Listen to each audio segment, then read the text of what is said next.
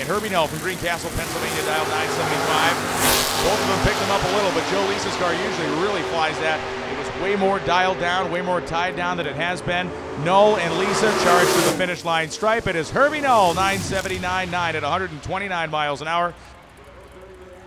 Check out this beautiful Gen 3 Camaro and its driver, our Superstock winner, Herbie Null Jr. Herbie, big win.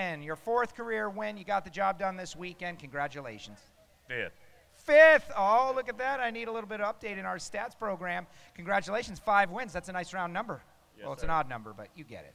Yes, sir. It was a good weekend. Um, I got to race my good buddy Joe Lisa here in the finals, and um, it really didn't matter which one was won.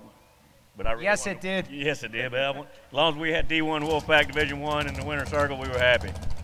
And uh, I'd like to thank my good friend Brian Warner and Byron Warner, Sterling Sharp, and my buddy right there. I just lost his name. You did not. Yes, I did. Get him in here. Get him in here. Get him in here. Well, He's running away. That's ridiculous. Herbie, congratulations. I know these are so hard to fight for. You got that one. Hold it up.